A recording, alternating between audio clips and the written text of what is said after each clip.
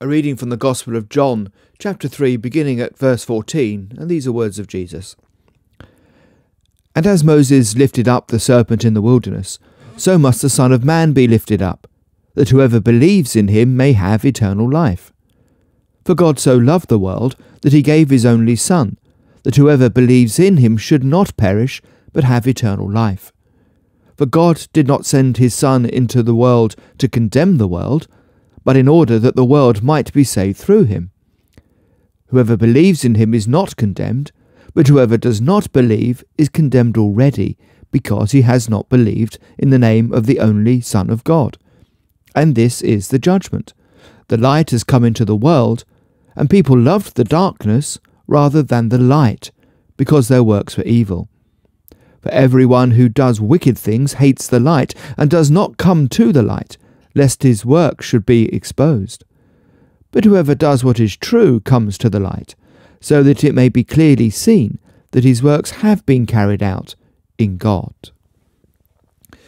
This is a well known passage for those of you who come to the Book of Common Prayer Communion services that we have in the benefice. You'll recognise this as one of the comfortable words, or at least containing some of the comfortable words which I read out at that service.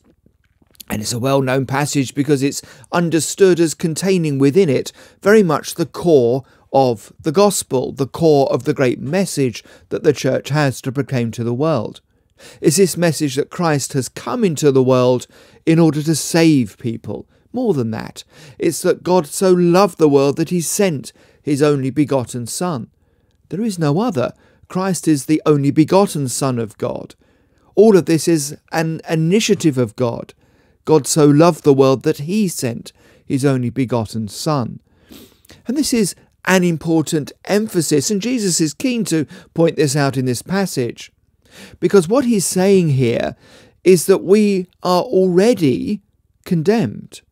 And yet Christ has been sent into the world so that those who believe in him will not be condemned. What does he mean in that? What does he mean by that?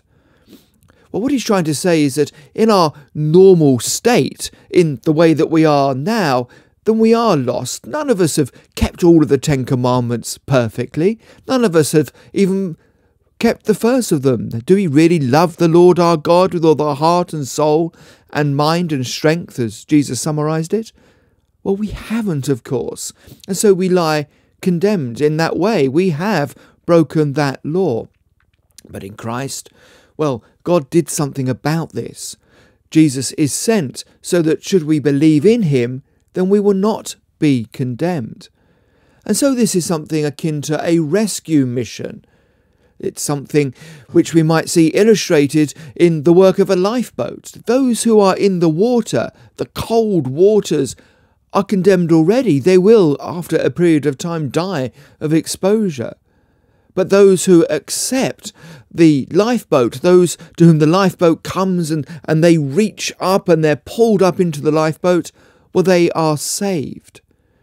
And so Christ comes to save.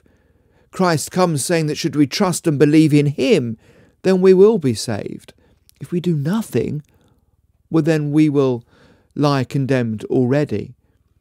This is the great gospel of Christ. This is what we look forward to in Good Friday and Easter Sunday, as we celebrate the fact that God's love meant He didn't leave us bobbing around in the water. He didn't leave us as though simply to die condemned, but rather He sent His Son so that we might be brought all the way back home. And so the question this passage asks, the question which lays open at the end of it, is simply this God has sent his Son. Will you believe in him?